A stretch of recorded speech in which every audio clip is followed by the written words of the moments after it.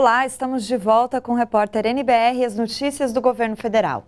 O índice de confiança do empresário industrial alcançou 56 pontos em outubro e permanece acima da sua média histórica pelo segundo mês consecutivo. Na comparação com outubro de 2016, o índice mostra crescimento de 3,7 pontos. As informações são da Confederação Nacional da Indústria. A matemática está em tudo. Esse é o tema da 14ª Semana Nacional de Ciência e Tecnologia, que é realizada até o dia 29 de outubro em todo o país. Coordenada pelo Ministério da Ciência, Tecnologia, Inovação e Comunicações, o evento tem como objetivo aproximar a ciência da sociedade. Seja na programação do jogo virtual que faz todo mundo dançar ou na tecnologia por trás dos veículos do Exército que ajudam a proteger o país. A matemática está em tudo. E esse é o tema da Semana Nacional de Ciência e Tecnologia deste ano. A ideia é despertar a curiosidade do público e mostrar que a matemática é tão útil quanto prazerosa. Para isto, nessa exposição em Brasília, até os personagens preferidos da garotada viraram professores. Que tal entrar na Mate Caverna? É que a gente está vendo as coisas que a gente gosta em matemática. Lá é sempre teoria, essas coisas chatas, aí aqui quando a gente gente vê na prática é meio mais legal. Eu gosto muito de ver como é que funciona na prática mesmo, porque só na escola a gente pensa, por que, que a gente está aprendendo isso? A gente não vai usar. Aí aqui a gente está usando, a gente está vendo e está interagindo. Botou o tema dos super-heróis também, né, que é muito presente hoje na nossa idade. Estou gostando demais. Se eu puder, eu venho de novo até domingo. tá muito legal. Não parece que quando eu pensei assim, eu pensei vai ser coisa chata, né? De conteúdo e tudo mais, mas tá muito divertido. E a atração conquista até quem não é muito fã da matéria. Eu estudo porque tem que estudar, mas não, mas aqui tá sendo muito legal. Aqui no evento, os visitantes também podem ver de perto o cockpit de um caça que será usado pela Força Aérea Brasileira. E não falta tecnologia no Gripen NG. O modelo é supersônico e atinge mais de duas vezes a velocidade do som.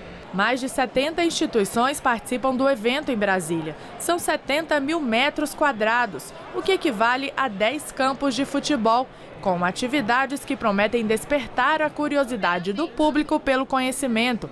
No espaço, além de espectadores, os jovens também são protagonistas. Ricardo foi escolhido na escola para falar na exposição sobre a aplicação da matemática na genética. A matemática pode ser bem interessante mesmo, a gente pode fazer coisas que a gente nem pensa que pode fazer com a matemática. Até domingo, governos, escolas, universidades, centros de pesquisa, empresas e organizações da sociedade sociedade civil vão promover eventos em todo o país. Mais de mil cidades brasileiras estão participando da Semana Nacional de Ciência e Tecnologia, que nesta edição homenageia o matemático Jacó Palles. Pela realização dessa semana, pela realização do Congresso Internacional de Matemáticos, que vai ter lugar uh, em 2018, né, já teve lugar. Uh, a parte de uh, o IMO, né, que é Olimpíadas de Matemática, tudo isso é muito importante. É, introduzir uh, o sabor da matemática nos jovens nas questões importantes. A matemática, a frase está em tudo é muito correta, ela está lá por trás de, de todos esses fenômenos. A ciência é fundamental para o desenvolvimento do país, para a justiça social, para você criar focos de, de, de excelência, ao, ao mesmo tempo de riqueza para o país.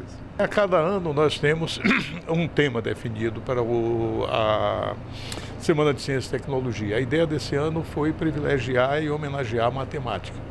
A matemática do Brasil é considerada uma das melhores ciências matemáticas do mundo. O nosso homenageado que representa isso, o professor Jacob Palles Júnior, é um dos matemáticos mais premiados, ele ganhou prêmios importantíssimos, inclusive o prêmio Balzan. O número de acessos ao cartão de confirmação da inscrição do Enem 2017 superou 3 milhões na tarde desta segunda-feira. A Paraíba segue com o maior número de acessos. 57% dos candidatos já sabem seus locais de prova. Aqui em Brasília, muitos candidatos já estão com o cartão na mão. De segunda a sábado, Isabela é só dedicação aos estudos. Ela vai fazer o Enem pela quarta vez em busca do sonho de ser médica. Há poucos dias do exame, consultou o cartão de confirmação e conferiu o local da prova. Tudo certo, já sei onde fica. Espero que não tenha nenhum imprevisto na, no, no, dia. O cartão de confirmação traz informações como o número de inscrição, a data, o horário e o local das provas e a opção de língua estrangeira escolhida pelo aluno.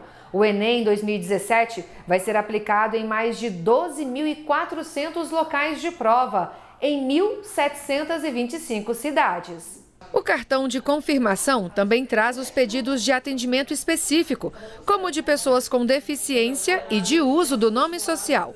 O Instituto Nacional de Estudos e Pesquisas Educacionais Anísio Teixeira, o INEP, recomenda que os estudantes confiram os dados com antecedência e façam o trajeto até o local de prova antes da aplicação do exame, para verificar a distância, o tempo gasto e a melhor forma de chegar. O aluno não precisa levar o cartão de confirmação impresso no dia da prova. Para verificar o cartão, é preciso acessar a página do INEP na internet ou o aplicativo do Enem para tablets e smartphones. É necessário informar o número do CPF e a senha cadastrada na inscrição. Para quem esqueceu a senha, o INEP oferece um passo a passo de como recuperar o dado. Vinícius escolheu o aplicativo do Enem no celular para consultar o local da prova. Ele já é formado em direito, mas na hora de entrar no mercado de trabalho, viu que o coração batia mesmo, era por medicina. Desde maio, estuda todos os dias para o Enem. É uma outra forma de encarar a prova, de encarar a própria preparação. E a gente vai, vai amadurecendo, vai, vai aprendendo melhor também o que funciona, o que não funciona, o que, o que ajuda mais, o que ajuda menos, e acho que isso acaba afetando, sim. Até 27 de outubro, os setores da educação, assistência social e saúde estarão juntos na Semana Nacional de Mobilização para o combate ao mosquito Aedes aegypti. Mais de 210 mil unidades públicas e privadas de todo o país estão mobilizadas. O objetivo é que durante esta semana a população seja alertada sobre a importância de combater o mosquito, que é transmissor de doenças como dengue, zika e chikungunya já antes do verão período do ano quando acontece o maior volume de chuvas, o que facilita a reprodução do Aedes aegypti. A mobilização vai atingir também 146 mil escolas, 11 mil centros de assistência social e 53 mil unidades de saúde. Publicadas no Diário Oficial da União desta segunda-feira, normas que tratam do fluxo operacional das missões da Força Aérea Brasileira para o transporte de órgãos para transplantes. De acordo com a portaria, o transporte de córneas, ossos ou pele para transplante somente será realizado em situações excepcionais e emergenciais, sempre por solicitação da Central Nacional de Transplantes e depois de esgotadas todas as tentativas de utilização de outros meios de transportes terrestres ou aéreos. As normas também definem que podem ser transportados até três profissionais das equipes de retirada ou de transplante por missão. O transporte de mais três profissionais poderá ser autorizado desde que haja justificativa técnica.